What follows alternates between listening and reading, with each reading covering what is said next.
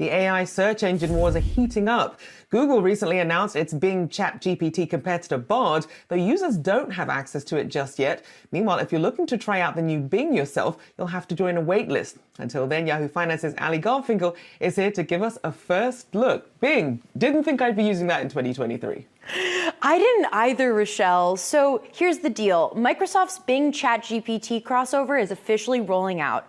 And I wanted to show you what it looks like because, in some ways at least, it looks a lot like the search experience we're all familiar with. So here's what the Bing integration looks like on a desktop, for example. Now, I'm going to be real with you, that's a lot of text for me. But now, on comparison, let's look at it on mobile, which is a completely different experience. Personally, as a consumer, I liked this one a bit, this one quite a bit better. Now, notably, the new Bing isn't available to everyone yet, and there is, as you said, a wait list. Um, candidly, this is still really nascent, and to that end, Google unveiled a slew of AI innovations today for its search, lens, and maps apps. However, you said it, Rochelle, the competitor, the ChatGPT competitor Bard is still still only being tested by a small pool of users. Now, looking at this, and this is my opinion, I think it's possible we could be looking at a situation where Microsoft is the first mover, but I don't know if I feel like Microsoft or Google has gotten the user interface or scaling right just yet.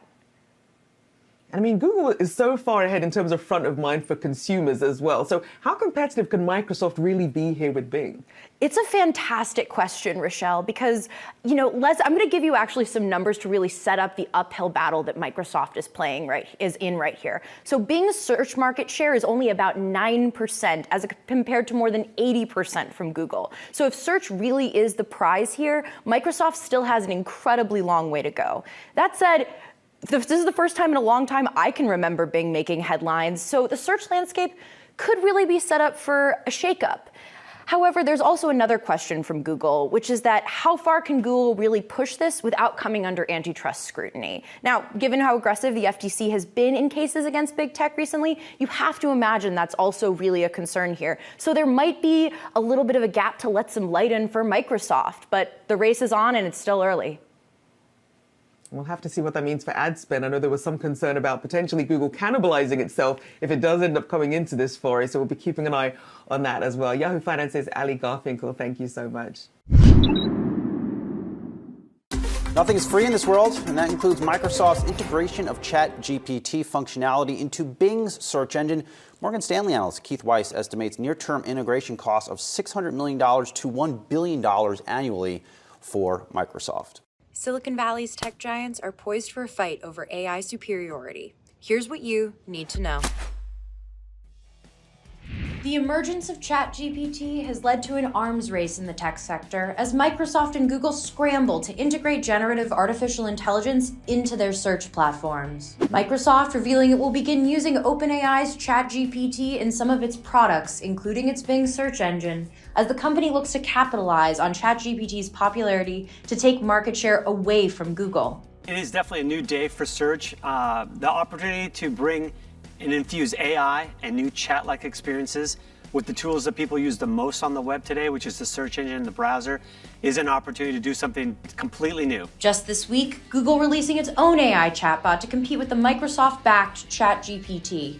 Google CEO Sundar Pichai introducing the newest entry in the AI revolution. It's called Bard, and like ChatGPT, Bard is a generative AI with a conversational interface meaning it can create conversations on its own and provide simple explanations for complex problems. Pichai says Bard will be open to the public in the coming weeks. And of course, China's tech sector can't let American companies have all the fun. Hong Kong based Baidu also getting in on the action, announcing plans to release its AI chatbot called Ernie in the coming months. All of these companies are still in very early stages of AI development and are looking at integrating this technology across their platforms and into our lives from search to cloud to gaming and beyond.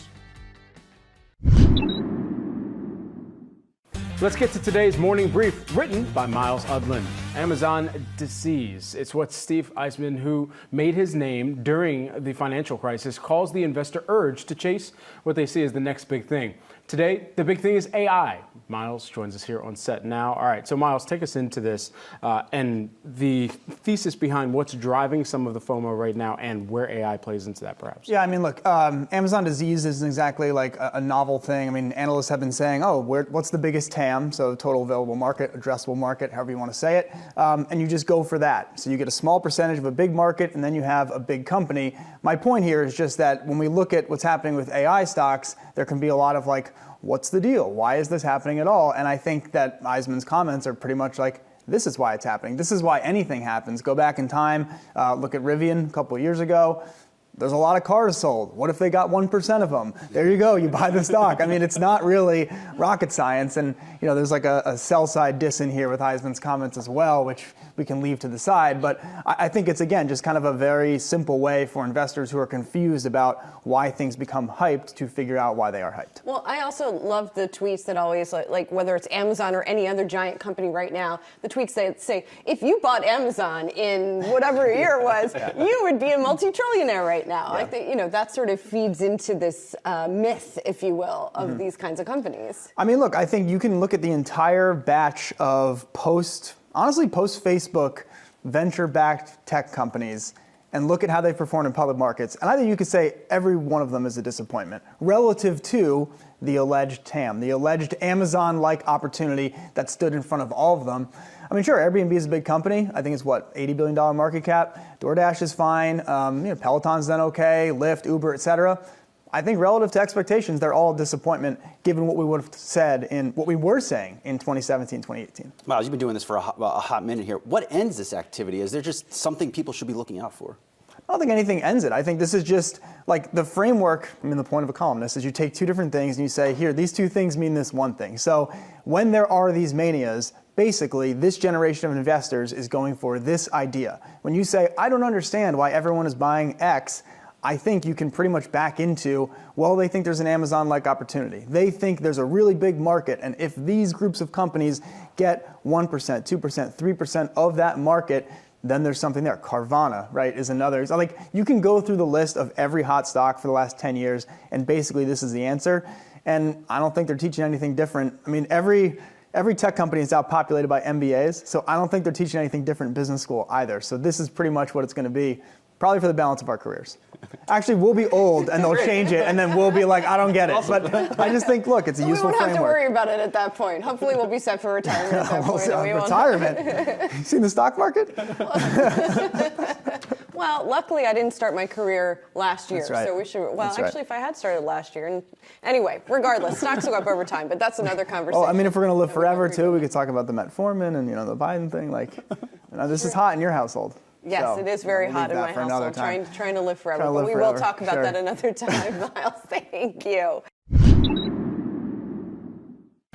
Baidu shares jumping today up over 11% after announcing today its own ChatGPT like project called ErnieBot.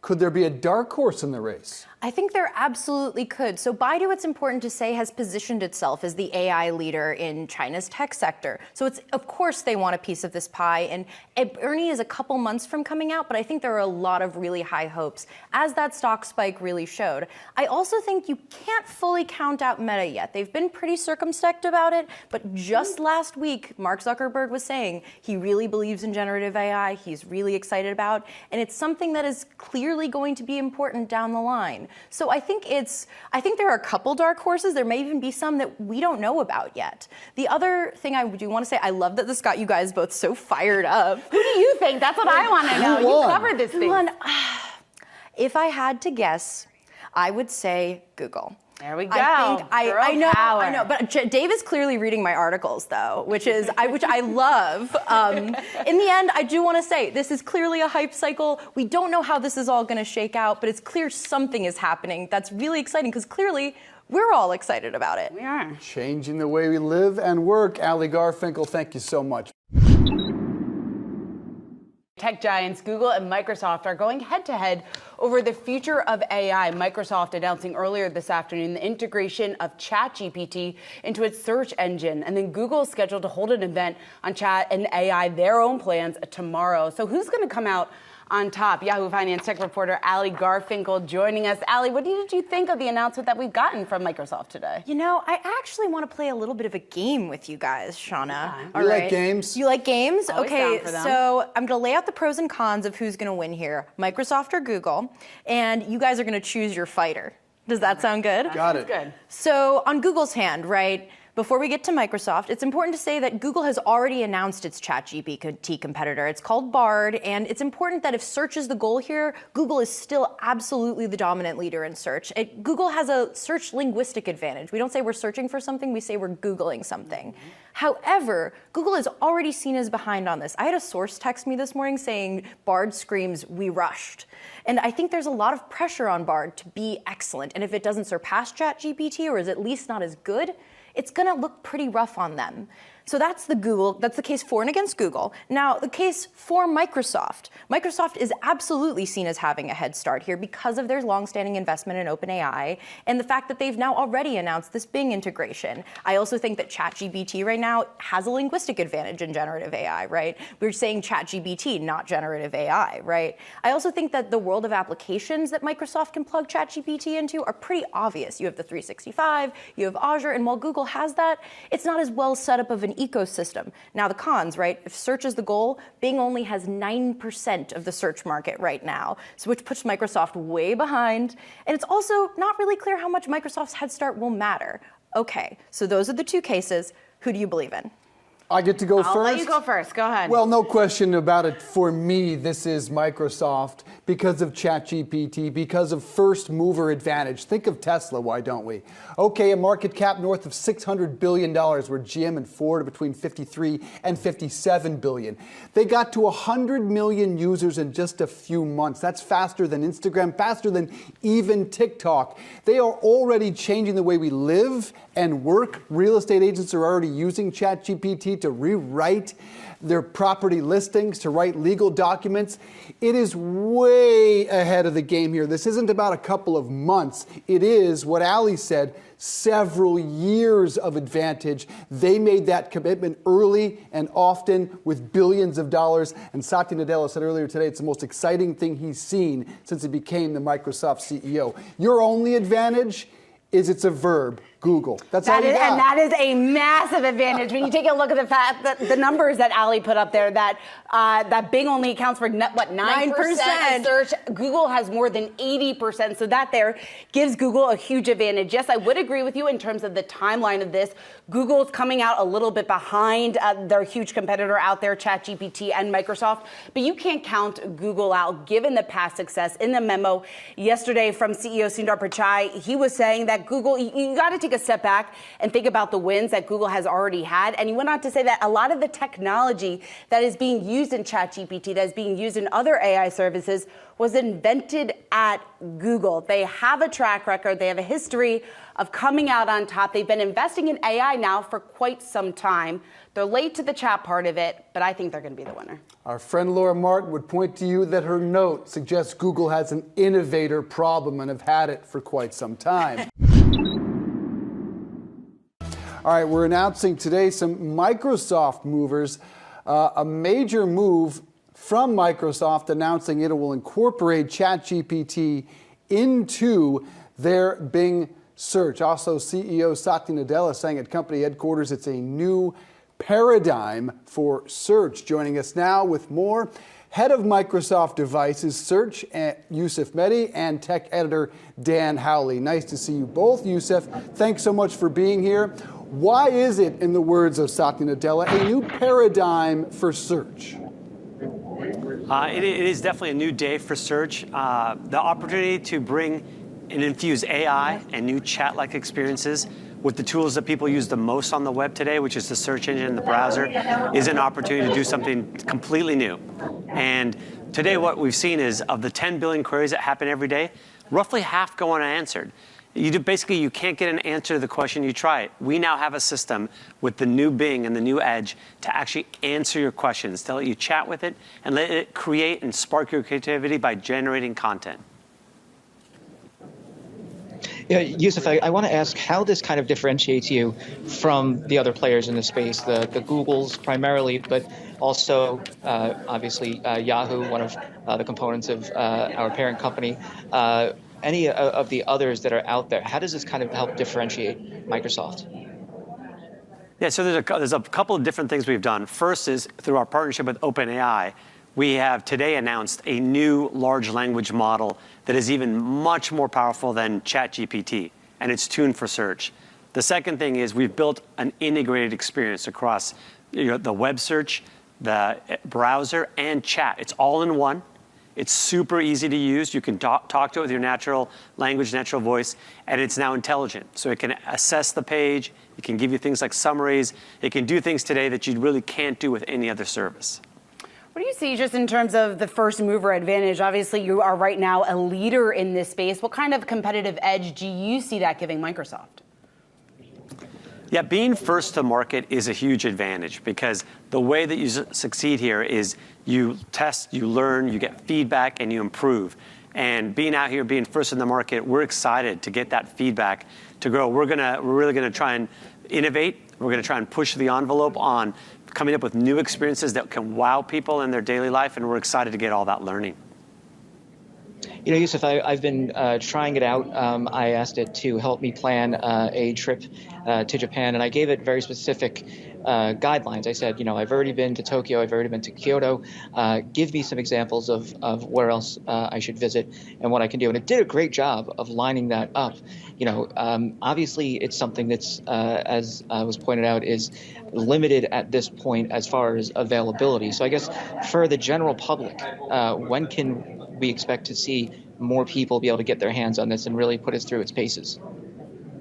Yeah, we're, we're so excited to get it out there. I'm glad that you getting a chance to play with it because I do think it's an incredible experience. Our plan is to do the following. Today, anyone can come to bing.com and try like 20 queries just to see the magic happening and to sign up for the waitlist. Uh, our, our waitlist is already filling up pretty fast. And then our plan is to scale that out to millions of people in the coming weeks. So that's roughly how we're thinking about the timing. And then we'll have a mobile version that will also be coming very soon. Bing has about 9% of the global market share in search. How do you presume ChatGPT can change that dynamic? Yeah, the new, the new Bing, uh, which includes these chat like experiences, and the new Edge, I, I, feel that the first step for us, as, as I sort of said earlier, we have to wow people. We have to just do an incredible job answering questions. And, and we're doing that as, as, as we've been getting out into the marketplace. If that happens, more people will come and try use Bing and use Edge, and then they might use it more, and then that will get then advertisers more interested, and then the whole business kind of goes from there. But our first job is just to delight people. I guess you know when it comes to Microsoft overall, obviously there's the the multi-year, multi-billion-dollar agreement uh, or investment rather with OpenAI. I guess you know this is this the first step of many uh, where we'll see that kind of technology rolling out into Microsoft's various offerings. Um, do you and, and, and is there a particular reason why search and, uh, went first? Yeah, it's a great question. First off, you're, you're, correct. Our intention is to bring the power of AI to all of the products we do at Microsoft. We've already started a lot with Azure. You can expect that we're going to bring that and improve all of our products. We start with search because it is the largest category in the software uh, area. The online advertising market, of which search is a part of, is 600 billion in terms of total addressable market. So it's a big opportunity. And the applications that drive that, obviously the browser, the search engine, they're the most used applications on the PC. So we start with the most important area. We also start because honestly, we feel that there has not been enough innovation in that space. We think there's an opportunity to address, as I said earlier, the half of questions that just don't get answered. So we're starting there. We've got some great ideas, and we think the, the new services that when you get a chance to play with it, you'll see how, just how much better it is than today's search.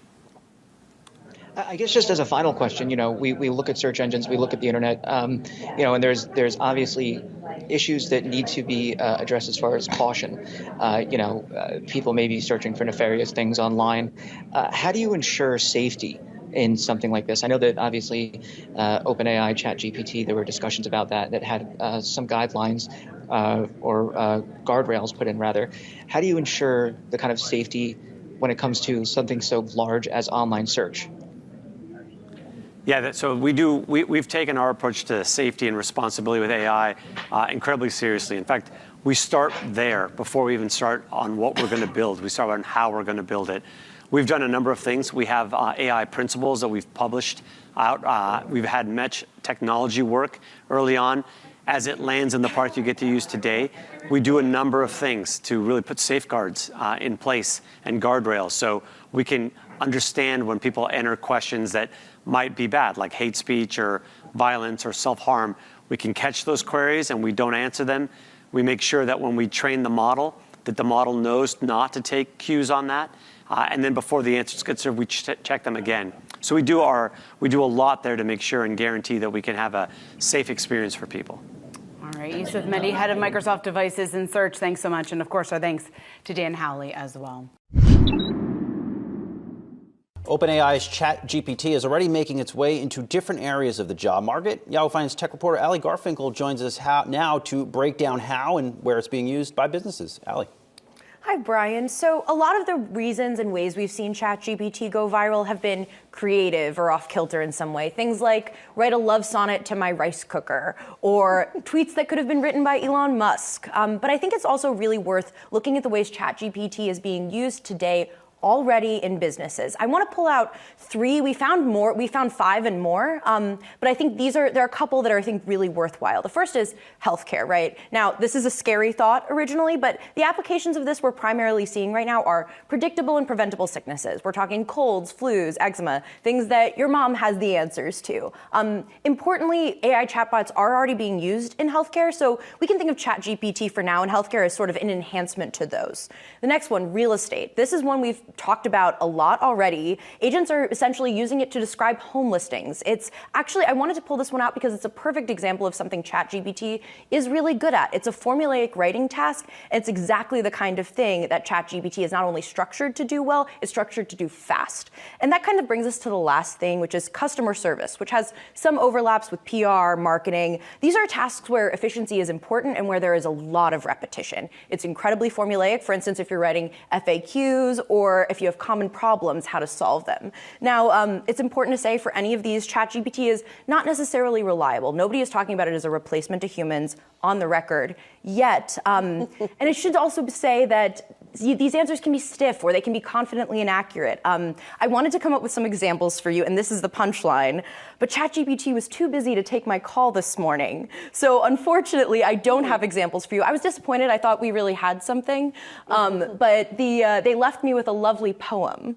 So I, I, believe that will be up on the screen at some point soon. Okay, all right. So as we're waiting for this poem, I, I just got to know because we're also waiting for this to be monetized by a lot of these companies too. I mean, what that real runway looks like for them to be able to not just introduce these skills to the public or this generative AI to the public, but how they make money off of it? It's a really good question, Brad, because I think the reality is we don't really know. And I think it's going to vary across industries. For instance, also there's the time is money argument in the case of the efficiency that something like this would require. I think that's hugely appealing. But I think in the case of healthcare, in the case of real estate, there's so much we still don't know. And that's that's sort of where the nervousness, I think, comes in for a lot of workers, for example. All right, Yahoo Finance's own Ali Garfinkel joining us here on set. Thanks so much, Ali. We appreciate it. I actually, I think the most underrated number that we got this week was UBS revealing 100 million users on ChatGPT in two months. Now, for context,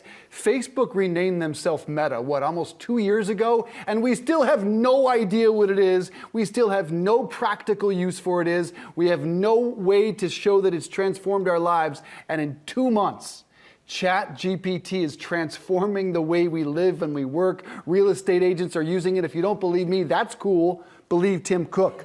He says, quote, it's a major focus of ours. It's incredible how it can enrich our lives, adding this gen. It is impacting virtually everything we do. So don't believe me, but believe Tim Cook. Yeah, certainly. I mean, you can't argue with certain, there's a lot of hype around it, Jared. You were, just, you were just looking at individual stocks. We even had an ETF coming out that's capitalizing on this mania that we certainly are seeing around Chat GPT. We don't have a lot of information around it, but the ticker will be Chat C H A T. Will be focused in a number of areas, but one specifically, the conversational aspect of AI. And of course, that means Chat GPT. So there is this mania around it. I would likely see that you would think when you take a look at some of the other trends like metaverse in the past, a number of ETFs were launched over the last year and a half that are based on metaverse. So I think AI, Chat GPT might be onto something here. And we could be seeing a number of new ETFs over the next year. Chat so. 4 about to be released in a few weeks, and it's supposed to hook up with Microsoft and Bing. So uh, the enhanced version even coming out uh, pretty quickly here. And GPT Plus that charges 20 bucks a month yes. and promises faster data and actually the ability to get on, which is yeah. difficult right From now. 2 to 4 p.m., I have a difficult time. I, I, have really struggled to, to get access to it. It's been very busy. All right, well, ChatGPT is among the fastest growing consumer apps in internet history. And with nearly 60 million monthly active users in December, it's showing no signs of slowing down. Well, our team spoke to Cathie Wood, ARK Invest founder and CEO, about the latest trends. Take a listen to what she had to say what I would be looking for a little bit more, and it uh, is how are our companies harnessing AI for their own businesses? Do they have these proprietary data sets? So that's the first thing, because this is going to, AI is going to enable the most massive productivity increase in our history. Well, joining us now to break down the OpenAI computer program is Yahoo Finance's Ali Garfinkel. We know that Cathie likes to do a long play. She, she's usually ahead of the game on some of these things, still waiting for them to pay off. But what about ChatGPT? So, Rochelle, ChatGPT is on pace to pass 100 million active monthly users after just two months since its launch. This data is from UBS, and I want to put in some context the company that chat, this puts ChatGPT in. So, you know, here you have the months to reach 100 million global active monthly users, right? You have Instagram at 30 months, Pinterest at 41, you have TikTok at an incredible nine, and you have ChatGPT at two. Now, for context, you think about Google Translate, Spotify, Uber we think of these as spectacularly successful apps tech problems aside, and that is an incredibly important part of this. The other key fact here, Rochelle, the total addressable market for generative AI could be over $1 trillion. And ChatGPT is currently averaging 13 million unique visitors per day, which is more than double what we saw in December. So some of this data, frankly, is pretty jaw dropping. We're seeing applications all over the place. I mean, when you consider just how, how recently we even found out about this company, only a few years, and being just two months away from hitting that level, I mean, it really is mind boggling. Now, is there then any company looking to compete with ChatGPT? There certainly are a lot of would be competitors. Of course, the most famous case of this is Google. Google, ChatGPT has been called a Google killer. I personally think that while talking about ChatGPT as a Google killer is a little overblown, it doesn't change the fact that Google is going to be asked about ChatGPT and its plans with generative AI today in its earnings call. At the same time, from China, you also have Baidu, which is positioning itself as China's top AI developer. So they're reportedly getting in the game, and Baidu stock has popped on the news. Lastly, even yesterday in Meta's earnings call, Mark Zuckerberg spoke positively about generative AI, saying that he's very optimistic about it and doesn't want to get ahead of the game, but that it's something he's watching. So, Rochelle, there are would be competitors all around, but we'll see who kind of comes to the fore as the real competitor to ChatGPT. I mean, this, this race really is heating up. Fantastic stuff there. Ali Garfinkel there for us. As that buzz, in particular around ChatGPT, has exploded since its late November debut. Uh, its capacity to complete tasks like coding, writing content, and entertaining users. It has investors trading the hype, and it's sending both leading and under the radar uh, artificial intelligence stocks higher. Our Ines Ferré is joining us now to talk a little bit about that rally, and then we're going to circle back with Cathie in just a moment. Ines, what have you been seeing?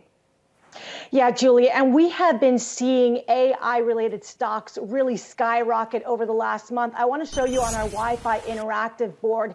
You will see here. First, I want to show you C3.ai. This company went public back in December 2020. It's an AI software company.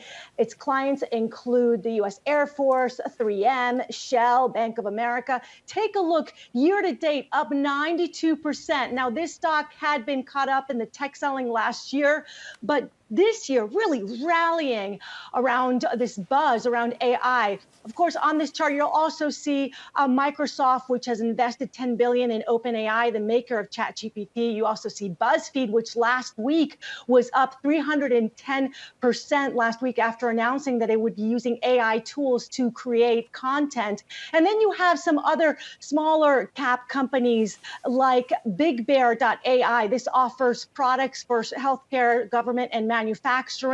And year to date, this stock is up significantly, up 405%. You also have this other company called SoundHound. It's a voice AI software company, small company, but nevertheless, year to date, up 14%, also getting caught up in the AI excitement. And there are many uses of AI. Uh, there's an analyst over at CFRA Research that talks about cybersecurity and how AI is used uh, with cybersecurity firms. So she was pointing out to CrowdStrike, Palo Alto Network, that year to date, these stocks are up as well. And then we also have to point out that AI has been mentioned during earnings call. I mean, Meta talked about using AI tools to help engineers to be more productive. Palantir back in November talked about Forrester naming Palantir as a leader in artificial intelligence and machine learning. And IBM's Arvind Krishna recently said that AI is projected to contribute 16 trillion to the global economy by 2030. Also saying we have been co-creating with many clients to deploy AI at scale, guys.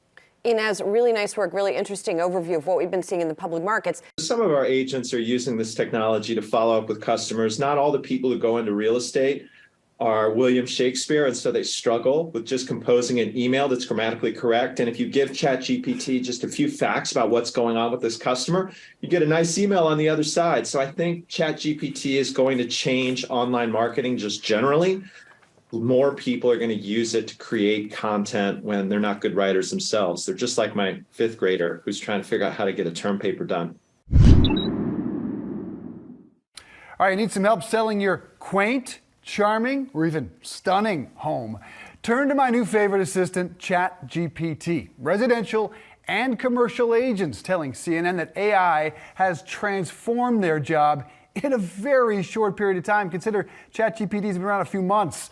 They're using chat to write listings, social media posts, even drafting legal documents. For now, ChatGPT is free for users, but reports suggest OpenAI is considering a monthly charge of 42 bucks.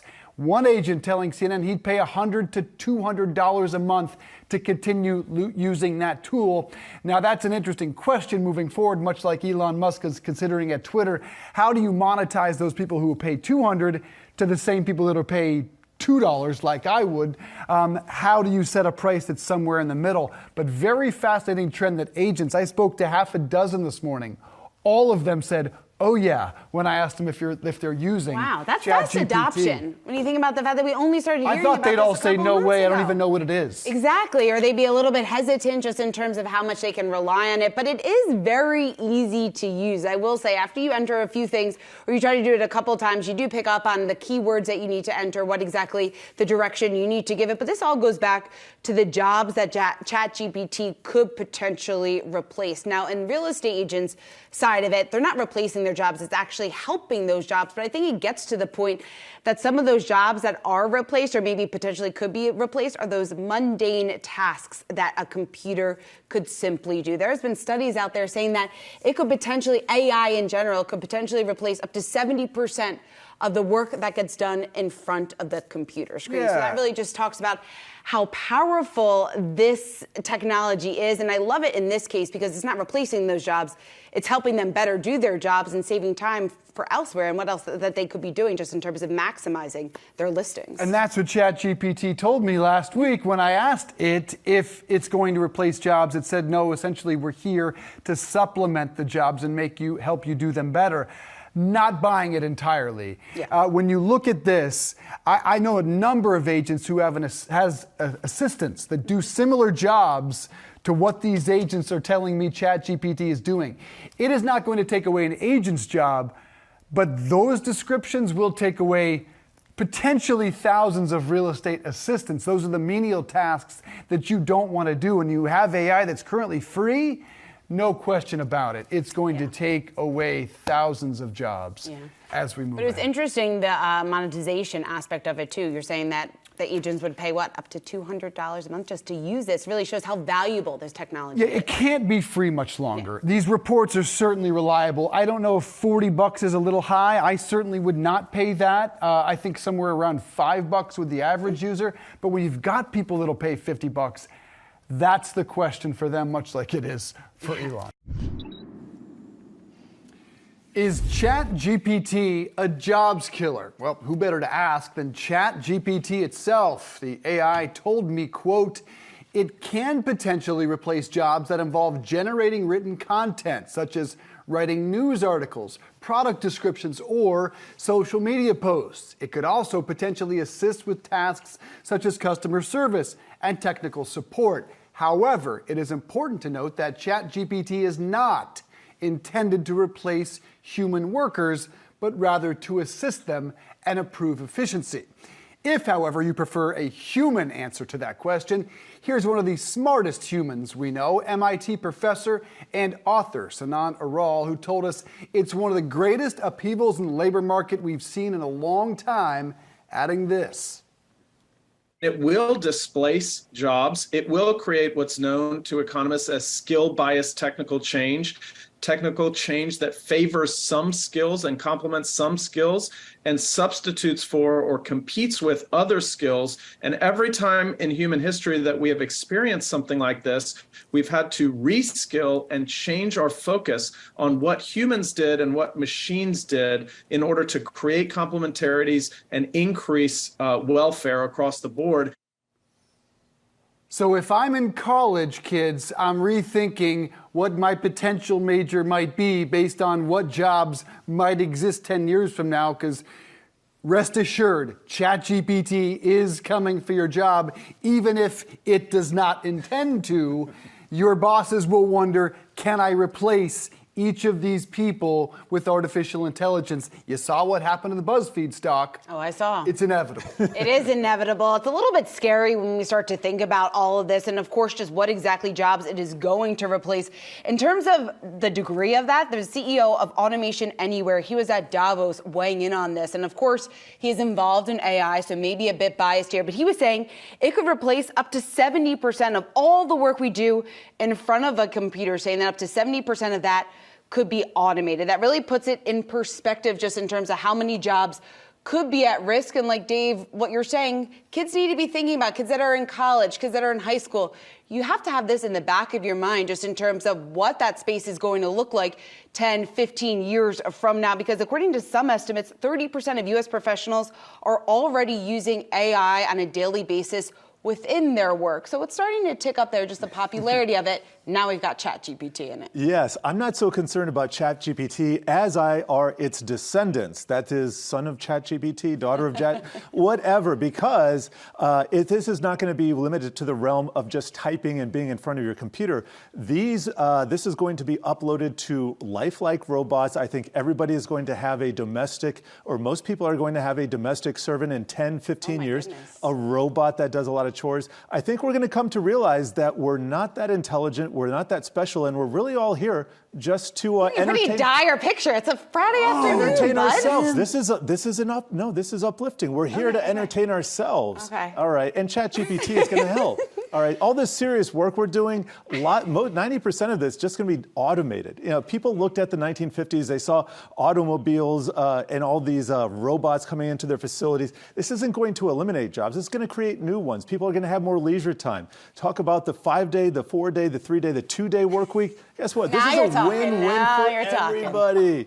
Come on, pick up your UBI at the local at the local Oh Fed uh, man! facility. On National Have Fun at Work Day, Jared just killed off 70% of workers in the U.S. economy. 90. 90% of our daily tasks. Now, too. look, we talked earlier in the program about how many professions are having massive shortages across the country, and the real problem is none of them are the five professions that we put up on the screen that experts do think will see the most impact, and those are education, finance, software engineering, journalism, and graphic design. Those are not the fields that we're suffering from massive shortages in. Can they fly planes? Can they be nurses? Can they drive trucks? That's where we need them. Can they be accountants, though? That, I think, might be a potential solution. If you want I feel better about an accountant than a nurse. If you want an Enron style accountant, yeah, you're going to have to go to a human. ChatGPT, not wired to do that kind of stuff. Well, sticking with Chat GPT, talking about exper- exper- experimenting with it, figuring out how it works, we are going to take a closer look at this and then also about the information it spits out. We want to bring in tech reporter Ali Garfinkel. And Ali, you did just this. You had a conversation with Chat GPT. You interviewed Chat GPT. What was it like? I did, Seana. You know, as as this has been going viral, people have been fascinated, obsessed, scared. I have been all three of those things.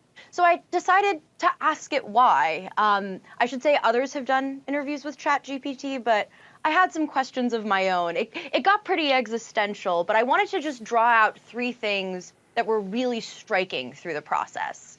The first, number one, is actually pretty simple. ChatGPT can't be on or off the record. This actually caught me a little bit by surprise. I was like, well, technically, I'm defying my programming. Can I publish this if it's not on the record? The conclusion I came to, as you can tell, is yes, but it certainly presents other problems. Like, for instance, I think I, what I was expecting was that it would say, I am always on the record. I am a machine learning model. Though, as it turns out, it can be neither. The second thing that was really striking was that to get good answers, you need to learn to talk to ChatGPT. We can't just talk to ChatGPT and say, hey, why are we fascinated by you? Or, hey, what do you think of this? Um, it's not going to give you personality. It's not going to tell you what it thinks unless you give it a little bit more color or unless you tell it what personality to give you. The, say, the way a human would say, bring you personality, whether you liked it or not. ChatGPT will actually respond to the personality you ask it for. Um, since, Seana, I know you love Reese Witherspoon, I asked it to impersonate Elle Woods seeing ChatGPT for the first time. And this is what it came back with. Um, it features phrases like, you got this. Um, and it's like your part, it's like your pink highlights bend, bend, and snap. it was, it was really cute. It was really cute. I was charmed by it. Um, but that said, despite our, the third thing that's important here is that despite our, how impressed we are with some of the creative work ChatGPT was, I actually found its limitations to be substantial, particularly when it comes to these kind of creative tasks. For instance, it's not putting songwriters out of business anytime soon. I've had it do a couple of songs, but in this particular case, I asked it to provide the lyrics to a song by The Clash, and it couldn't complete the response. Actually, to date, is the only thing I have asked ChatGPT where it couldn't give me that response. So though there's a lot about ChatGPT that is awesome, is interesting, um, it's certainly not the easiest interview I've ever done. And, and you had that ChatGPT answer a question on my behalf. What was that? How'd it go? I has I, you were interested in asking about the jobs question, what kind of jobs ChatGPT is possibly coming for, and ChatGPT was a little defensive. What it was saying is these are jobs I can help with, these are jobs I can assist with, but it said it was not coming for those jobs. However, I actually have run this response by an expert who disagrees. He says that there are actually implications for call center jobs, knowledge jobs, entry level jobs. What we're seeing here, Dave, is ChatGPT spouting the party line, as it were. And I really like this question because it gets at the crux of why we're so fascinated. We're we're afraid of how it's going to reshuffle our world. We're fascinated, we're afraid, we're afraid, and we're fascinated. And I don't expect that to stop anytime soon. We need a him or a her. I, like, I, I don't believe it. Uh, I believe it is coming for all of our jobs, Ali Garfinkel, but uh, I'm old. Yours so too? I worry for you young people, not us old ones. Ali, thanks so much. Well, it's a big week for tech as Microsoft earnings kicks things off with a less than desired outcome as its worrisome guidance hits other mega tech names. We're here to dig deeper on Microsoft and the rest of the tech space is Robert Stimpson, Oak Associates co-CIO. Good to see you, Robert. So as we were taking a look through some of the revenue drivers there for Microsoft, Azure stood out. We know that, that you said that that's one to watch, but obviously getting a lot of the headlines is that investment in OpenAI. If you're Microsoft, how should you be putting your capital to work right now? Well, we think the OpenAI investment into Chat uh, GPT it is the type of decision you want to see from a mega cap tech name like Microsoft. We do not want to see them uh, sacrifice those opportunities to the likes of Google or Amazon or Facebook. Um, so we're encouraged by that sort of investment um, for the future. And so, as we look at Azure, especially, and, and, where it's going from here, and then when you compare it to what we're seeing with the cloud business, some of these growth drivers that allow them to be able to pour innovation into these other sectors, what are your expectations for the cloud business? Well, the cloud is certainly the growth business for Microsoft. And when we look at the stock today, you know, it's really a tale of two cities. They have the PC business, which is slowing and mature, and then they have growth in the cloud business. And uh, you know that's definitely the area that's the, the the market is watching. It's been successful, and a little softening going forward is to be expected because after all, this is a you know a 52 billion dollar revenue uh, company. Uh, it's hard to maintain that revenue growth, and I understand that businesses are kind of uh, rationalizing their spend after two years of trying to be more efficient, more productive coming out of COVID. And so, Robert, then I know that one of the negatives that you highlighted was the current valuation, especially when you look at, say, a Google or a Meta. How, how are you, um, when you think of where the valuations might go from here, what do you think might actually work in Microsoft's favor since they don't do still have such a high valuation? Well, I think they've been benefiting from the idea that that as a mega cap tech company, there is some safety and security in their in their size and their market cap. But when you when you separate Microsoft into those two industries of being a legacy PC company and a growth cloud company, the valuation multiple should probably somewhere in between of those two businesses. And unfortunately, it's not. It's definitely more towards the higher end at 24 times uh, next year's earnings, uh, price to sales of almost nine times. Uh, those are pretty rich multiples when other tech names have similar growth opportunities, uh, but are trading at much more reasonable valuations you know, whether it's Google at 18 times earnings or Facebook at 13 times earnings, uh, other mega cap names just don't have that premium. And we think that the upside is still good in those areas. And so when we look at some of the issues that we're still dragging in from 2022, the macroeconomic backdown, Fed continuing to tighten, albeit at a slower pace, when you look at some of the perhaps the potential for the biggest winners this earnings season in tech, who stands out to you? Well, we do like the semiconductor space. Um, people forget it's a boom and bust cycle in semiconductors, and uh, you know we had some supply disruptions during the pandemic. Um, but valuations have contracted sharply. China is reopening. The appetite for semiconductors is still very strong. So, uh, you know, as an industry, uh, there's some inventory that needs to be worked off in some of the more um, industrial, automotive, and PC names. But it's still a growth industry that you can get access to at a much more reasonable valuation, knowing that has a long tail of growth behind it. And Robert, I want to ask you about, about layoffs. Obviously, we've seen Microsoft part of that as well with its own set of, of 10,000 layoffs. Haven't heard anything from Apple yet. Apple have done hiring freezes, but haven't made those cuts yet. Do we expect much deeper cuts overall for tech? And why do you think we haven't seen it for Apple yet? You know, that's a good question. Uh, I expect we probably will at some point. Um, all of the tech companies were aggressive in hiring during the pandemic. Uh, they kind of benefited from the work from home trade and in enabling other companies to move to a more uh, distributed workforce environment. Um, and there's going to be need to be some rationalization of that workforce going forward. So I think that the the layoffs we've seen from a lot of the major tech companies is probably just round one. Uh, I think Microsoft hired something like 75,000 people over the last four years, and last year headcount was up over 19 percent. Um, so as these tech companies make their own expense reductions, headcount's going to be a big area. And Robert, of course, we know that Tesla's reporting after the bell, but I do want to ask you about Musk. A lot of people, especially investors, frustrated about the distractions. You have Twitter, you have the ongoing shareholder lawsuit. How do you think this is all going to pan out for Tesla, since it does have some very ambitious production targets now? Well, you know, Tesla has a great product, a great car. Um, but the stock has been very volatile and Elon's personality is affecting its share price. So uh, while the underlying product is good, um, you know it, the the high valuation, as well as some significant changes in the competitive environment over the last two years. I think every major automaker now has a lineup of, of EVs available, and Tesla is no longer, uh, you know, the best uh, option for some people. So, given the changes in the competitive landscape, you know the tech, the stock's been under pressure. Uh, Elon's been a little bit of a distraction, uh, and as a result, it may not ever receive the premium fan base or valuation that it had uh, enjoyed previously certainly is a very different time we're living in now in the EV space. Robert Stimpson there, Oak Associates co-CIO, thank you for joining me this morning.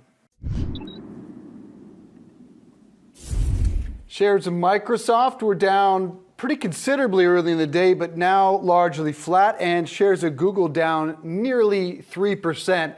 As we found out, the road ahead for big tech looks a bit bumpy after Microsoft earnings report. But Microsoft may have the decided advantage right around the next corner. The company betting 10 billion big on OpenAI and specifically ChatGPT.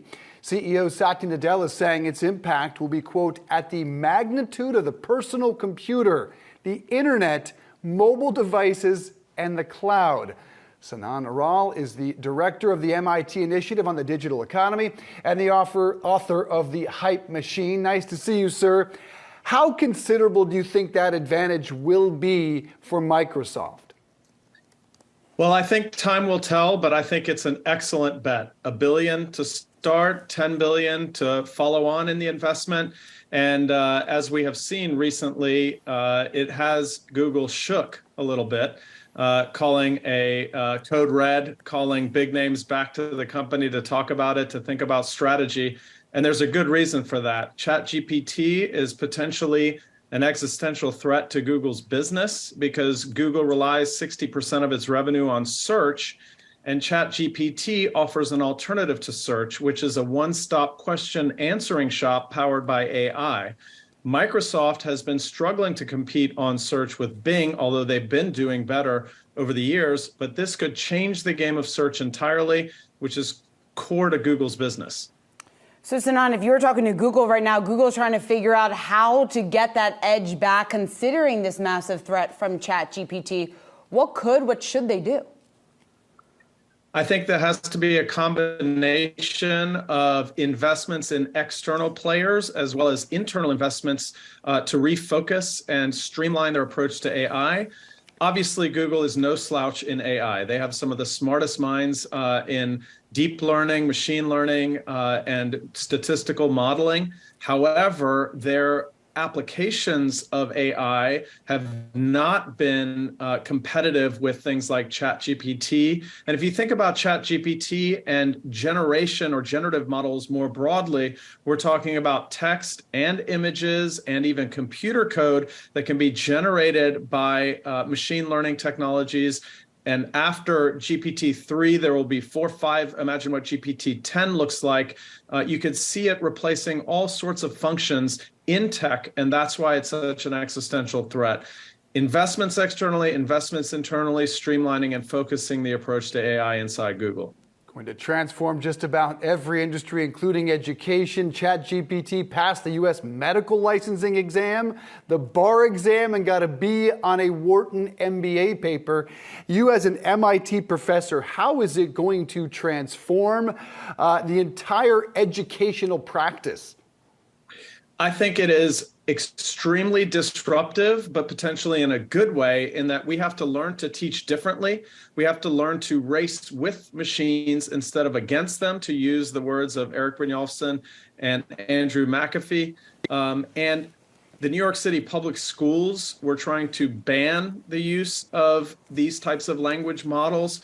I don't think that's the right approach. I think what we have to do is we have to change the way we educate. We have to reskill and, based on our education, focus on things that complement artificial intelligence rather than try to compete with it or ban it or slow it down. It's potentially a way to enhance and augment and scale creativity, but it has to be uh, used in a way that's complementary with human skills and that's going to be the next challenge for the labor force as well.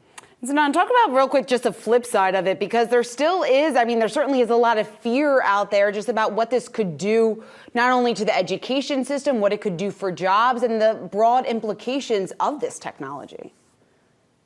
Well, we're experiencing one of the greatest upheavals uh, in the labor market that we've seen in a long time. You can imagine human history punctuated by several of such transformations the agrarian revolution, the industrial revolution, and now the information revolution, which is an essentially uh, an accelerated exponential change at the current moment, even compared to 20 years ago, with the advent of large language models, scalable machine learning, and AI.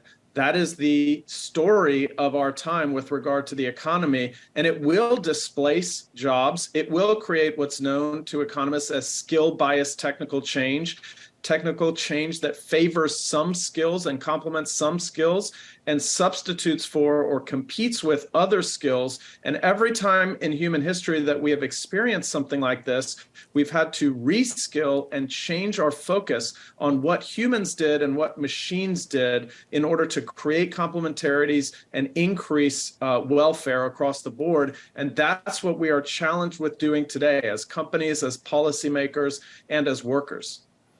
It was my hope that my kids didn't really know what ChatGPT was. Boy, was I wrong. They laughed. They said all their friends are using it. I'm not sure how. I'm not sure if they're cheating. What would you tell parents? How should we handle this? The fear is our kids are not only cheating, but their inability to form their own opinions is in jeopardy. What should we do? It's funny you asked that. I was going to say that they probably knew before you did, as I'm sure that my nine my nine year old knew before I did. As the father of a nine year old, uh, I do not want to scare him away from this type of technology, although we have strict limits for screen time at our house. Um, I want him to play with it. I want him to uh, experiment with it. I want uh, with I want him to understand how to use it. I want him to uh, think about how he might work with it uh, rather than try to keep him off of it or to keep him away from it, we have to learn how to use complementary technologies like this to aid us, uh, extend our creativity, to scale human thought. And I think that starts with young generations. Frequently, they're the innovators, we're the laggards. Maybe they should show us what we should be doing with it. Uh, certainly, cheating is should be something that you parent away from at all times from an ethical and moral standpoint and that using technology not to cheat but to knowingly and transparently address the technological revolution is the right way to go about it in my mind there's some great tips there, and Sinan, my kids are a little bit too young, but I will keep a lot of that advice in mind in the coming years. Sinan Aral, thanks so much. Rise of the robots. Microsoft is betting big on AI with its multi billion dollar investment in ChatGPT. But what is it? Yahoo Finance's Dan Howley joins us now for a breakdown. All right, hit us with the vibes of ChatGPT. Dan.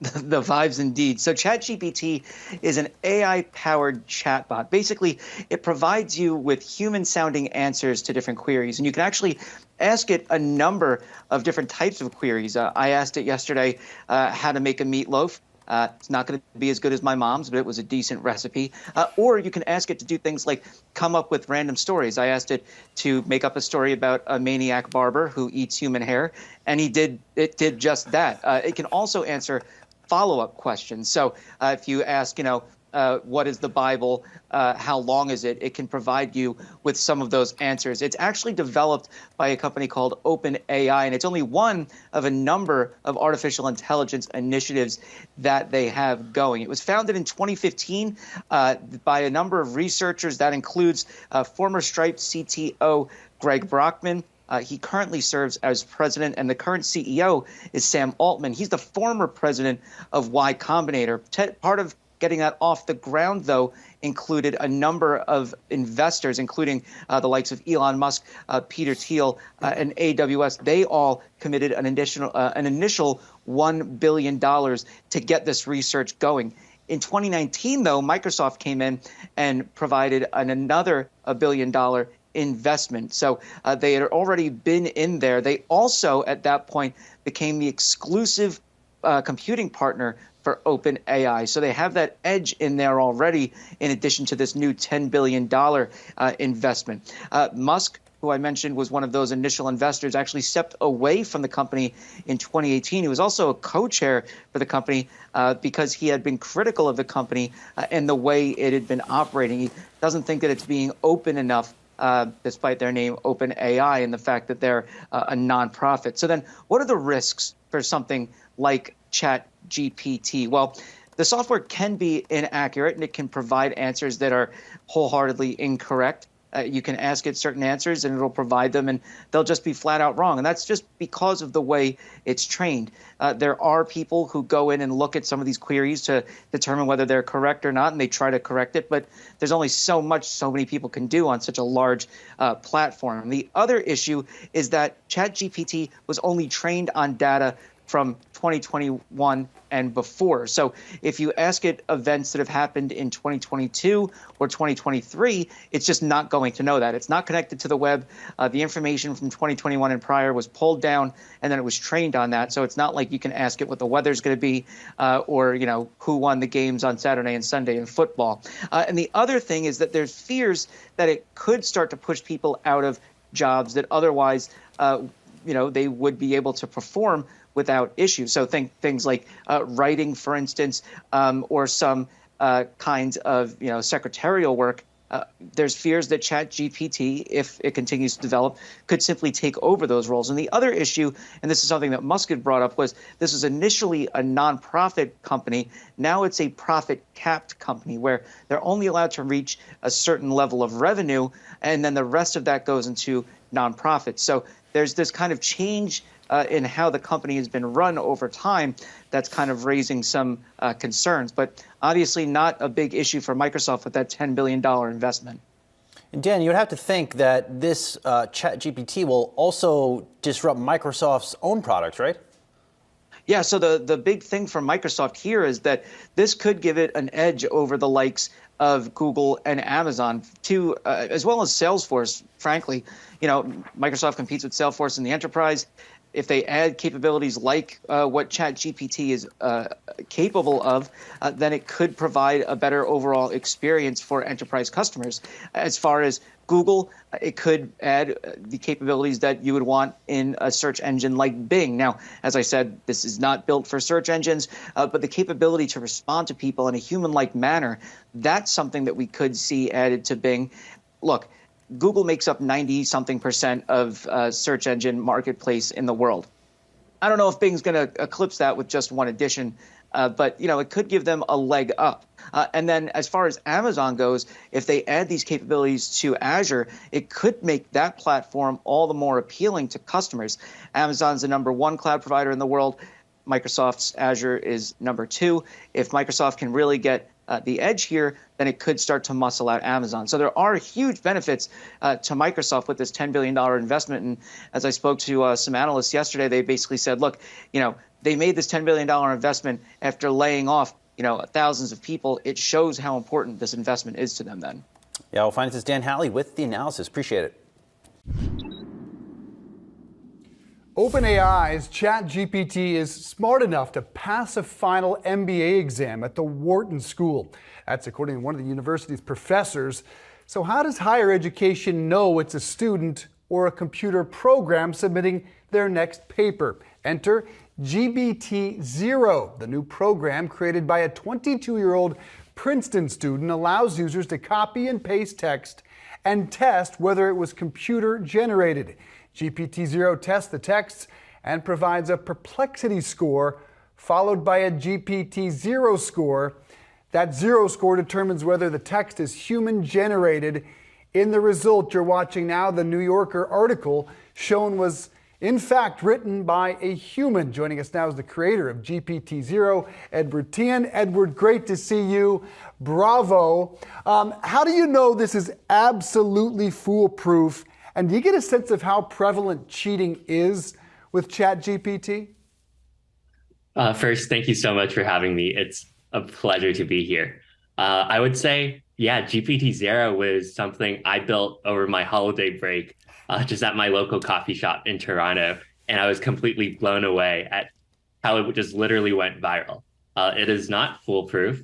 Uh, yeah, we put a disclaimer not to have any make definitive academic decisions off the beta, But what we have done is put up a product wait list for educators that are interested in using it um, professionally. And so far, over 23,000 educators from more than 40 states and 30 countries have signed up for that. So we're really excited.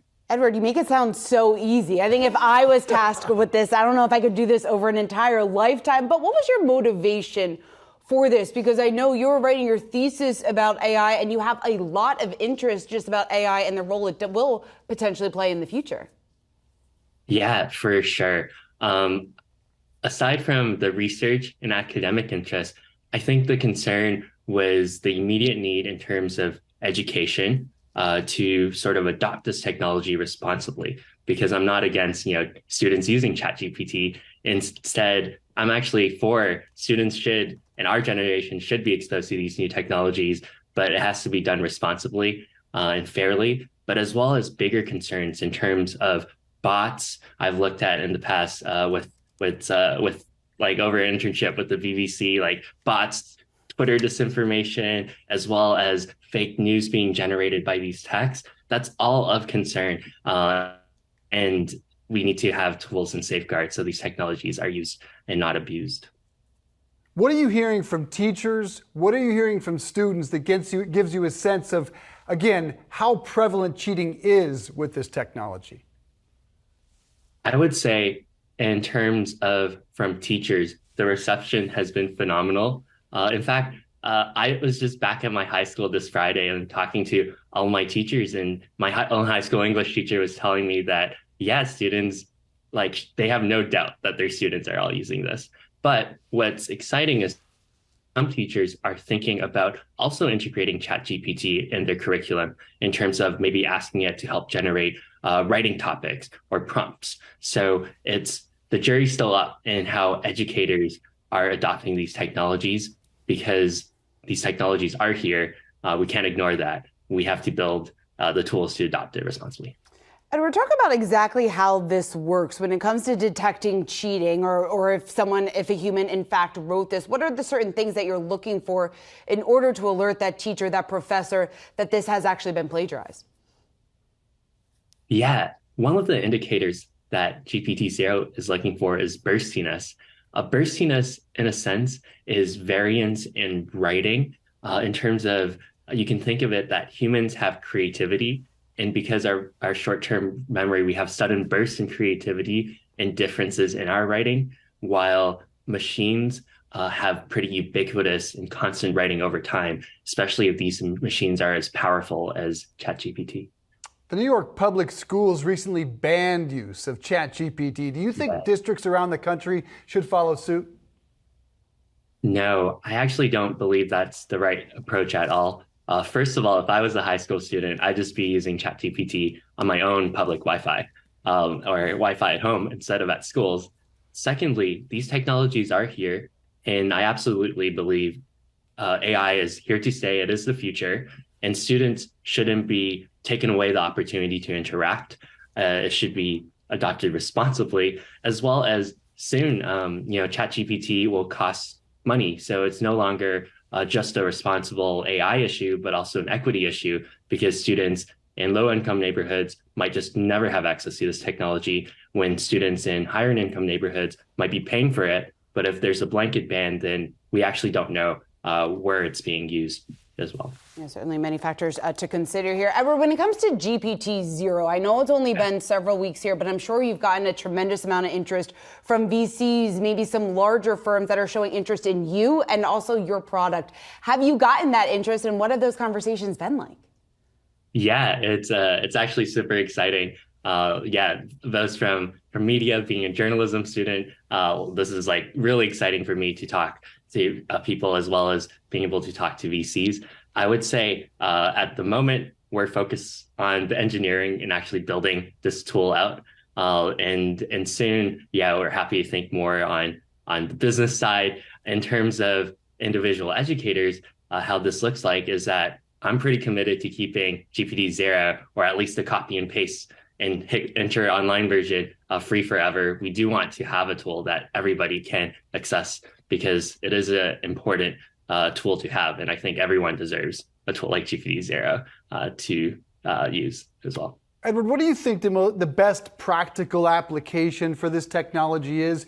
We've heard theories all over the map, but you've studied it. Where do you think we'll see it develop the best in our economy, in our society in the next couple of years?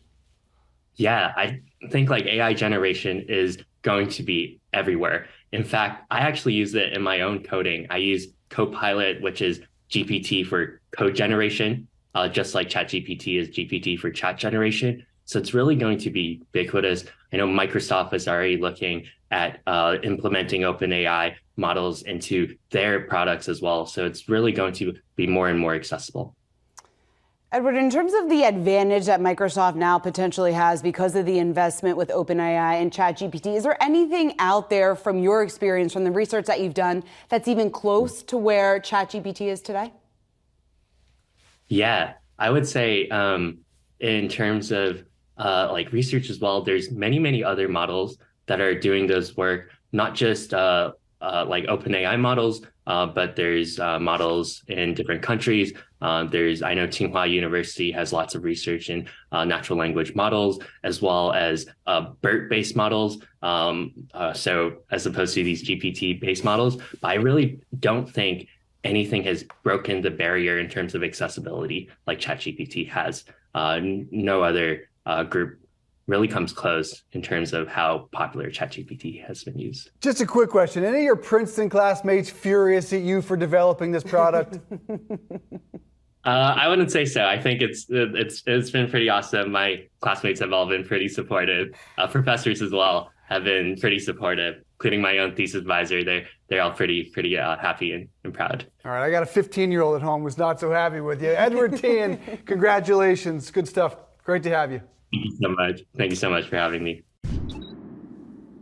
Microsoft confirmed today it is investing $10 billion in OpenAI over several years. That brings the valuation for the startup to 29 billion as the tech giant looks to monetize ChatGPT. That chatbot has become the talk of Silicon Valley and everywhere else, including Brad's brunch table. The chatter caught the attention of Saz, and that's where we find his take today. It caught both of our attention Ab- in Davos because a lot of people were talking about it. Absolutely. This was definitely the World Economic Forum where, where the next generation of AI uh, took form, in large part because of ChatGPT. So here are a couple uh, vibes, you know, that I thought about from the weekend as I downloaded everything we learned at the World Economic Forum as it pertains to OpenAI and, and chatbots like this. First up, you know, it's it, it is still seen as a helpful, useful tool, at least, at least uh, off the jump here uh, in, in bots like ChatGPT. Uh, I think a lot of execs that we talk to do see a, a strong use case for up for it. And then by extension, you know, because of that use case, it is seen as a major disruptor for many industries. I know if I'm a Salesforce uh, today, which of course bought Slack, there's a lot of, I think,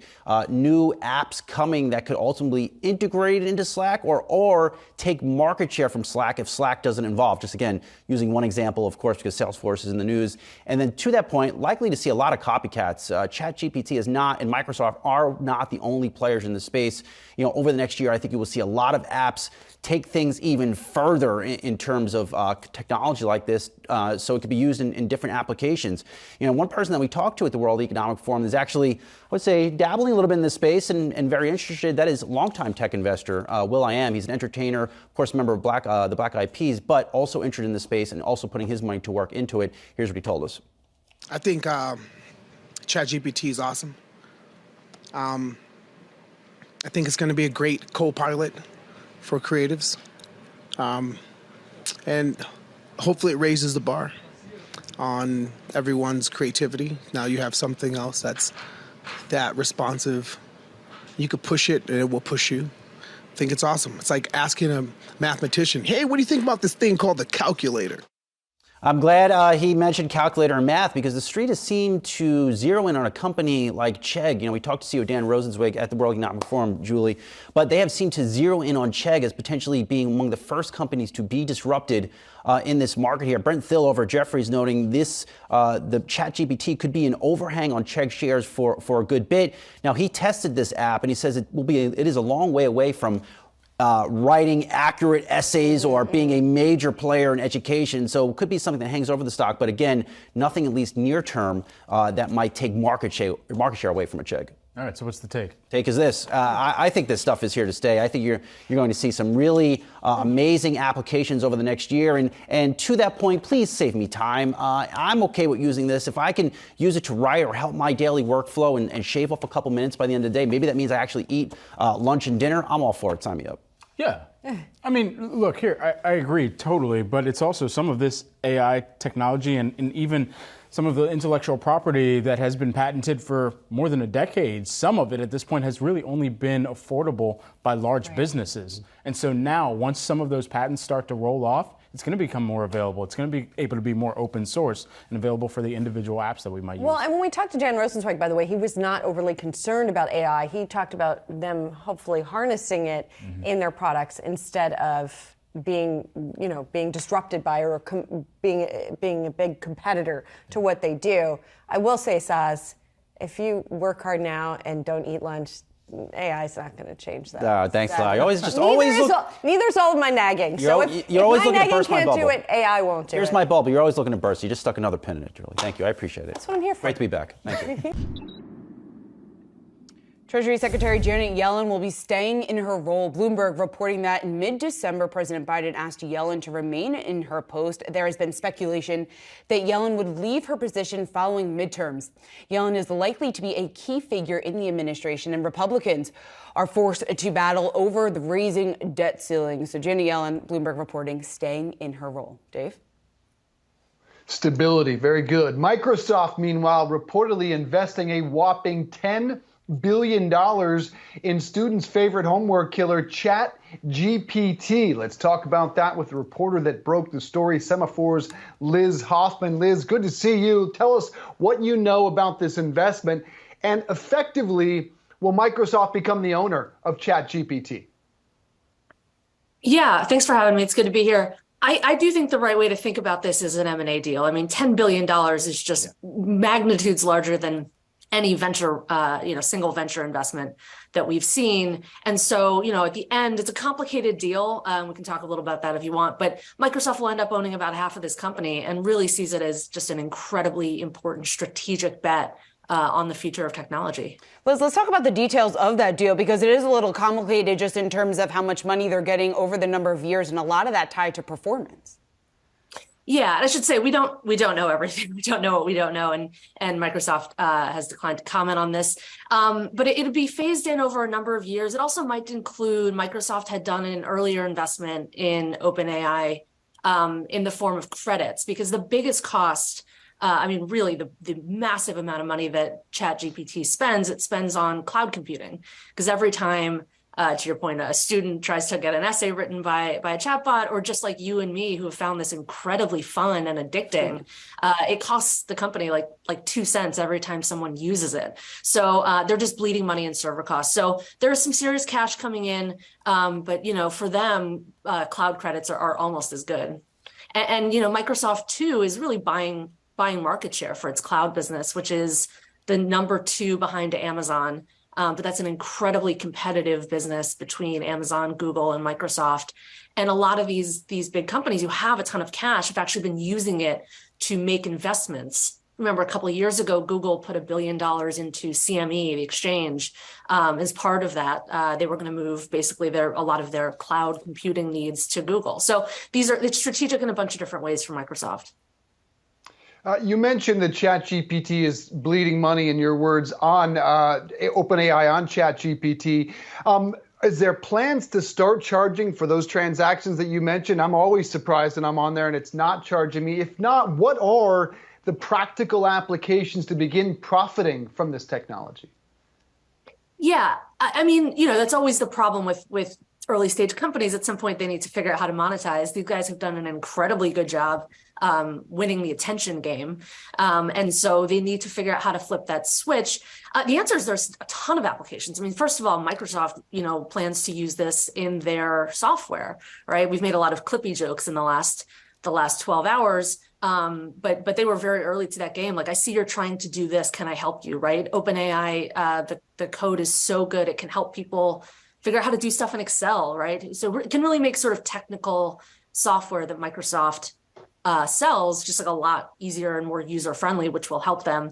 You know, but I've also talked to CEOs at, at unrelated non-tech companies who think this can be a game changer for customer service, for client relationship management, um, that kind of stuff. I mean, just think about how many, how much of Twitter is just people like like standing in line at the airport and tweeting it, you know, angrily at Delta. So there's, uh, I mean, there's a lot of there are a lot of applications. You know, I think and the one we haven't talked about, obviously, is search. Microsoft, you know, Bing has been really an afterthought to Google for a long time. Um, interestingly, you know, like Google is very good. If you ask it a question, it will come back very reliably with and point you to where you could find an answer. It's not that good at telling you the answer. Uh, it's trying to get better at that. You'll see some of their search results are a little more uh, kind of natural languagey, but they're kind of they're kind of clunky. And so, you know, people really think this could be the future of search. Yeah, Liz, I'm curious just to get your personal take on this because Morgan Stanley was out with a note last month talking about, or I guess, I guess discussing more so how big of a threat ChatGPT could potentially be for Google and its search business. From what you know from all the reporting that you've done, do you think it's going to move the needle there?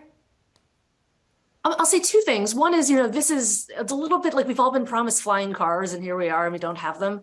Um, this does feel like the next big thing in tech, right? You had the internet in the late '90s, you had mobile in the late 2000s, and kind of nothing since then. So, you know, just at a high level, I think this is really directionally interesting. Um, but then, you know, the the the verdict from the market today. I don't know exactly where they are right now, but Microsoft opened about a point up and Google opened about a point down. And that's $35 billion of, of market value just swung between two tech giants. Um, so, and, and, by the way, it's not often you see investors in a company like Microsoft cheer them putting a huge amount of money into like a very nascent technology at an incredibly high uh, price point. So um, clearly the market thinks this is a game changer and, and is, uh, is happy that Microsoft is getting there first. Liz, we haven't heard anything in the way of competition. Have you? And what is stopping someone else from getting in this game. It doesn't seem like there'd be a massive hurdle or barrier to entry. That's always the problem with venture, right? How deep is the moat and how big a head start do you have? Um, I guess it really depends on, there's a couple of things, right? Like, is computing power now a commodity? Like, maybe you could probably argue that it is. You've got the big players, you know, the, the cost of cloud is always coming down. If you had like enough time to to kind of feed the entire history of human interaction into a, a, powerful enough computer and you had enough money, I don't see why someone couldn't couldn't uh, couldn't replicate this. I think that's a real concern here. That said, head starts are really helpful, and they have a very big one. It'll be fascinating to see where this technology takes us. Liz Hoffman, always great to have you at 7 4. Thanks so much. Microsoft is considering investing as much as $10 billion in ChatGPT creator OpenAI, according to Bloomberg. Our next guest says the tech giant's incorporation of ChatGPT into Bing could be a once in a decade opportunity to upend Google's dominance. DA Davidson managing director Gil Luria joins us now. Gil, make the case for why this could be a once in a decade, once in perhaps a generation investment opportunity for Microsoft. Well, if you think about where Google's market cap comes from. Their 1.1 trillion, almost 60% of that comes from their search business.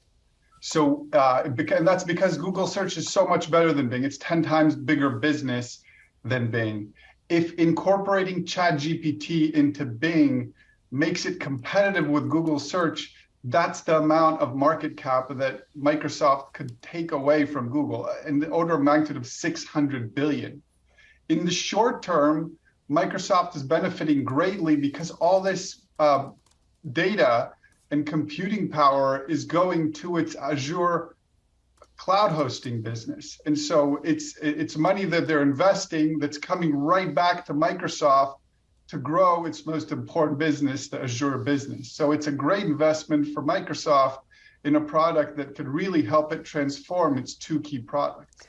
I mean, Gil, some would ask why Bing even still exists, right? I mean, it's definitely like also Rand doesn't even begin to cover it. Um, Google's a verb, Bing is most definitely not. So, if you could just walk us through it in a little more detail, like what would a ChatGPT integration into Bing look like, and why would it be such a compelling offering? So, when you use generative AI like ChatGPT and you ask a question, you get an answer. You get a thoughtful, well articulated answer. When you go to a search engine today, whether it's Google or Bing, you don't get an answer. You get a list of websites where the answer may or may not be, and you have to continue doing the work. That really changes the nature of how we get questions answered. And if you've played with ChatGPT at all, you know that it can answer a very wide range of questions in spite of the fact that technology is still developing quickly. So it's gonna, it, there's an opportunity here for us to completely change how we find information. We've been Googling for 20 years, and now we may be in a situation where we no longer Google. We ask a question and we get an answer. So you think, Gil, Bing takes down Google, and do you think Google is working on something like this? Oh, absolutely. Google's working on a product called LaMDA that should be able to do the same thing. But what we're hearing is that it's not quite as good as ChatGPT yet. And so that's one aspect that gives Bing this opportunity to be competitive and take significant market share. And then the other aspect of this is that Google relies on its current advertising business model for almost its entire business. Again, 57% of its revenue comes from advertising through Google search. If they were to change the way we do search to start answering questions instead of giving us a list of websites, that would very much disrupt their business. So Google will be encounter the classic innovator's dilemma. Do they destroy their own business in order to stay ahead, or do they try to slow down progress? If they try to slow down progress, that gives Bing that inner um, that inner run into uh, the ability to uh, to gain market share. How long does it take for Microsoft, if they're successful with ChatGPT, to upend the mind share that initiates every search on Google because of just how long that has been kind of verbified into our daily activity and kind of standard operating practices at, on, on a human basis right now? We're going to find out very soon. Some of the reports out there is that Bing is going to be incorporated with ChatGPT as early as March. And so we're going to see how much better of a product it turns out to be. But if you think about uh, 15, 20 years ago when we all started using Google, it happened all of a sudden. We were using other search engines. And once Google became better, everybody started using it for everything very quickly if there is a better search engine out there, if, if Bing plus ChatGPT is in fact better than what Google has to offer, people will switch very quickly. So, Gail, putting this all together, there have been reports that Microsoft is thinking about investing more in OpenAI, which is the parent company of ChatGPT, maybe $10 billion over a matter of years. It sounds like you think that would be a fantastic idea. I wonder what you also think of the idea of if Microsoft just bought it outright. Well, I'm not sure that's a possibility for them. I think gotcha. the, the other investors are, are quite prominent as well. Peter Thiel, Elon Musk, they may not want to sell the whole thing. Um, if, if Microsoft could, maybe they would.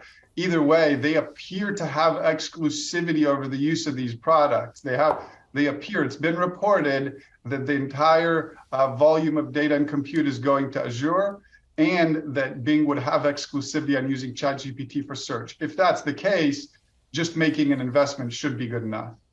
There is now a counterplay as well to any type of artificial intelligence kind of either written product that, that is online or just the, the general framework of how artificial intelligence can be kind of incorporated within writing papers, people who are, or students who have used ChatGPT to be able to do this. And now the counter to that is the detection mechanisms to understand what is artificially intelligence generated versus what is not.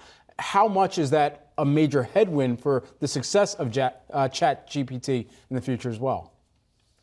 There is going to be some cat and mouse game, especially in the field of education, where uh, teachers and professors are going to try to figure out if if they're uh, if the student actually wrote the paper. But realistically speaking, the next generation of, of this technology, GPT 4.0, that's going to come out later this year, is going to be educated with a, a 10 to 100 times more data than the generation we're now using. Which is to say, when you say, write me an essay on this topic, that's one thing. But when you can start saying, write me an essay on this topic as if I'm an eighth grader and make some mistakes so the teacher doesn't catch me, and ChatGPT does that, Oh, no. it's going to be very hard for teachers to get. That, that is- okay, so that kind of raises the question of whether there is a, a- an ethical responsibility that needs to be layered into how this operates, how, how this artificial intelligence is able to be incorporated, uh, regardless of how good it can be in kind of streamlining search results or simplifying some tasks that are otherwise, uh, you know, just uh, uh, just onerous. You know, where is that extra layer of ethics within how this artificial intelligence operates? That's a great question. That's the most important question right now. In fact, I believe when using ChatGPT that it's being throttled and governed by OpenAI to not do anything and, and say anything. And one of the reasons Google is holding back on LaMDA is specifically that, that once you unleash this and, and give it all the capabilities, it can it might do things that we are uncomfortable with and that we really have to figure out the ethics around. And we need to do it now because these capabilities are very very uh, significant. And so that responsibility right now falls to google and it falls to openai. And we we better hope that they're uh, trying to be ethical about it because the capabilities are very significant Well, you know, big tech has a long history of being ethical, Gil, so I'm sure we're in good hands. we'll talk more about that in the next time. Gil Luria, DA Davidson Managing Director, thank you so much. Really interesting perspective on a fascinating ongoing story. Appreciate it. Well, here's a question for you. What measure is a machine? OpenAI, the research and development team behind viral bots like ChatGPT and DALL-E 2, could see a valuation of up to $29 billion. This, at least according to multiple reports out from the FT and the Wall Street Journal. The developer OpenAI is in discussions with venture capital firms, including Peter Thiel's Founders Fund and Thrive Capital. The bots have recently gone viral for their ability to generate realistic looking text and images.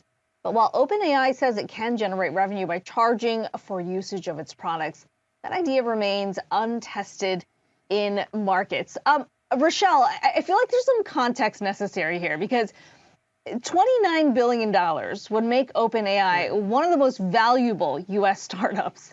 And we're talking about a company, as we said, that has some skeptics who say, like, how do you actually generate revenue out of this? Now, last year, or we should say two years ago, 2021, this is a company that was valued at $14 billion. So we're talking 15 billion over where it is. And of course, this comes at a time when we have heard from so many VCs and startups who have had to slash their valuations because people are growing a little more skeptical about these companies' ability to grow. So, in that context, a $29 billion valuation, especially largely based on ChatGPT, which was just launched in November, that's a significant upside. I mean, you want to talk about just a turnaround story for more than doubling your valuation in two years. And as we mentioned, on something that's largely untested. And even OpenAI CEO Sam Altman saying, look, there are still some glitches in the technology. And as we're seeing a lot of VCs pulling back on investing on some of these sort of riskier businesses, we saw that um, just in the last in the last quarter, we saw that some of these predictions, especially from PitchBook, saying that last quarter marked the first time in a decade that venture capital acquisition deals actually fell below a billion dollars. And so we're not really seeing that momentum. So it's interesting to see so much interest now as people jump onto the what we're seeing with ChatGPT. Um, now, obviously, this could pit you know Google against Microsoft with this, so it might be a case of sort of fear of missing out and wanting to sort of get in there early. But I mean, these valuations are really off to the races right now. OpenAI, the creator of ChatGPT, is reportedly considering a tender offer that would value the company at $29 billion. This news has garnered significant attention in the tech industry as it reflects the growing importance and potential of artificial intelligence in today's market. OpenAI's research and development in the field of AI have earned it a reputation as a leader in the industry, and this valuation serves as a testament to the company's innovative work and potential for growth in the future. Guess who wrote that?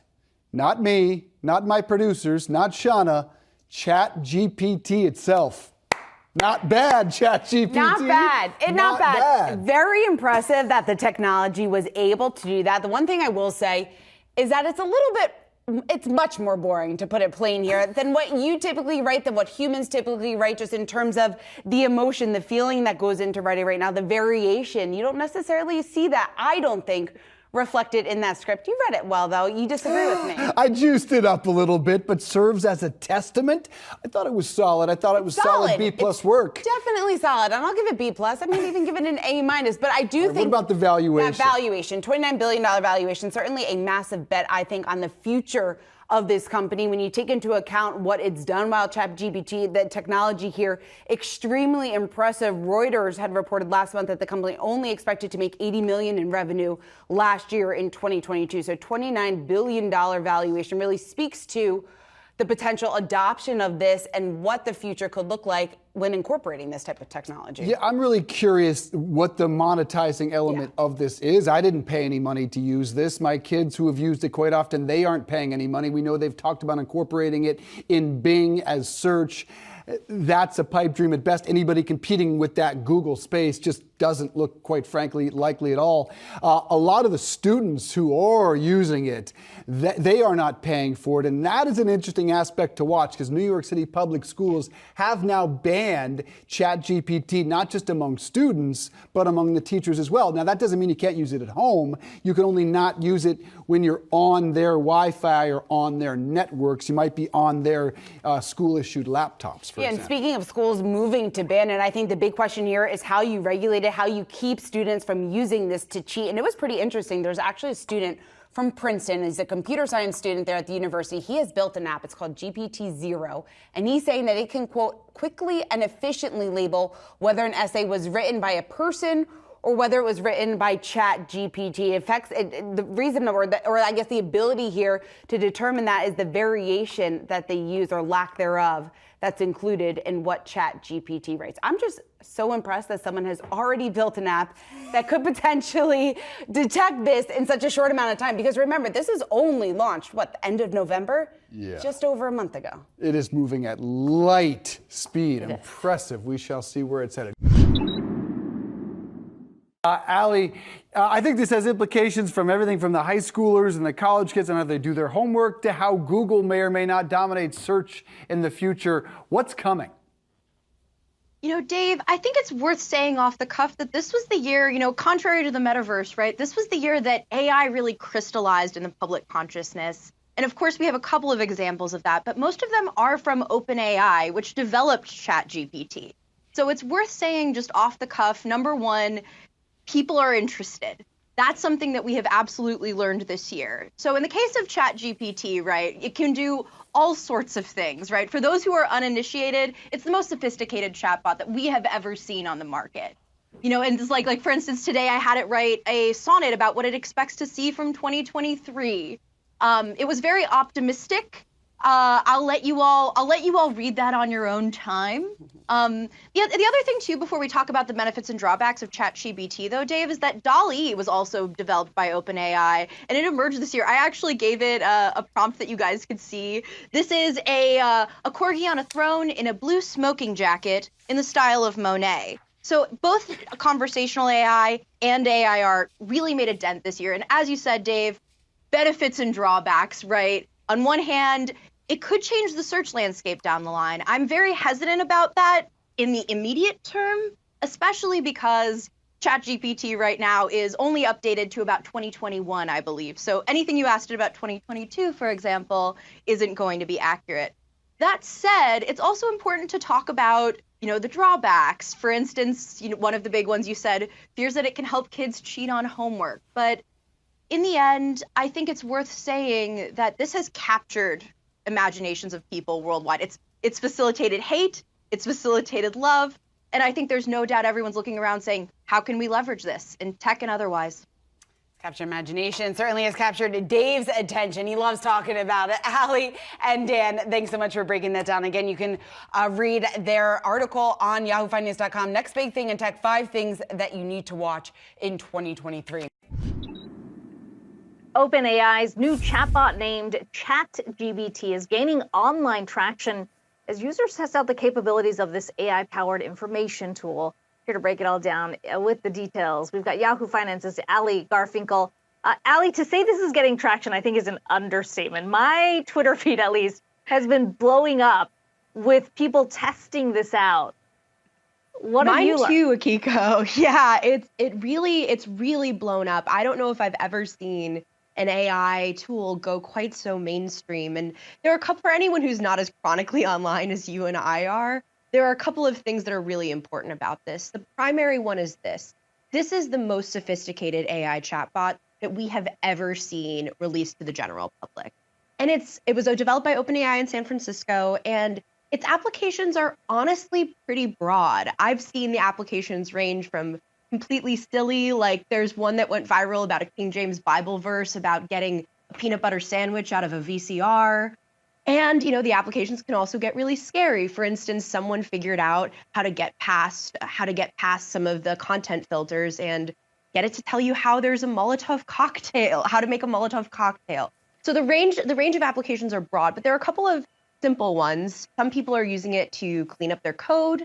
Other people are using it to help draft cover letters. You know, there's been a lot of applications surrounding college essays. The way it works is essentially you sign on and you type a question, much in the same way you would to something else we're all very familiar with, Google search. So I actually went and tried it out myself um, because I wanted to test out this idea because there's a lot of hub hub being like, well, you know, this is something that, you know, could eventually replace Google. And I think there are a lot of things underlying that, but I I asked it a couple questions that you might ask Google. Um, one of them was very benign. It was about French toast. It might it'll probably show up on the screen here in a second. Here you go. Yeah, I was just like, what's a recipe for French toast? Okay, that's a recipe. And then it shows you how it shows you how to make French toast. I also asked it a follow-up that gave me excruciating details on how to add chocolate chips in. So I think there are a lot of questions that this poses, but there's no question it has gone completely viral. I, I love this. I'll definitely be checking that out. A big thank you there to Ali Garfinkel for us.